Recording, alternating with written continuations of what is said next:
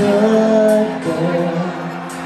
Plus her mama loves Jesus and America too. She's a good girl.